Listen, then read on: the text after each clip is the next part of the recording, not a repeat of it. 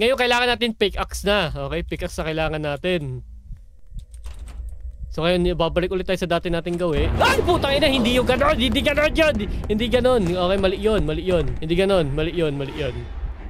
Ina, sorry. Gulat ako ng puto.